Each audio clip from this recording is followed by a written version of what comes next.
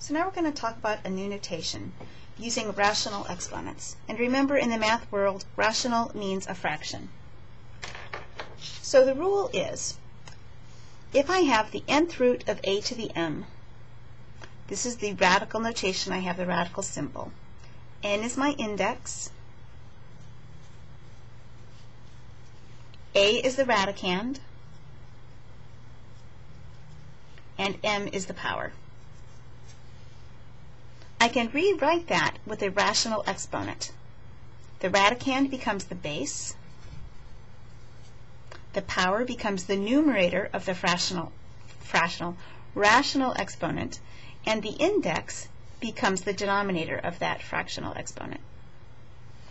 So one of the things you'll be asked to do is just to switch between the two notations. Do you understand what pieces go where? So if I look at the square root of b cubed, to write that in a rational exponent notation, b is my base, and its power, that 3 is the numerator, and the denominator is the index. And remember, if an index isn't written, it's an understood 2. For g to the fifth root of g, to write that with a fractional exponent, it is g to the, so 5 is the index, so that will be playing the denominator role. And the numerator is the power of g. And again, when 1 isn't written, it's an understood 1. So the fifth root of g is the same thing as g to the 1 fifth.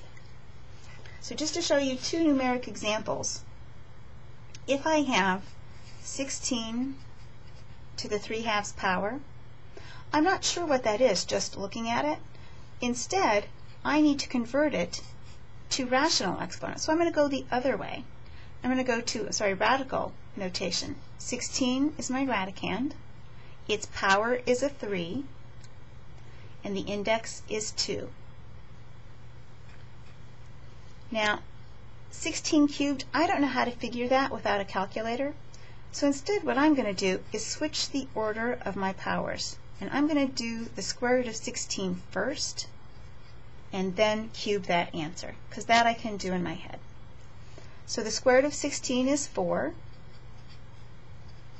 and 4 cubed is 64 for my final answer. Be very careful about your neatness when doing these. Notice how I've written my 3 halves in a little bit smaller font, and I've also moved it up so that it looks like a superscript.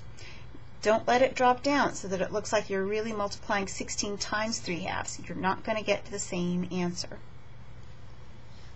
One more numeric example. I think I can squeeze it in. 8 to the 5 thirds. If I rewrite that with a fractional exponent,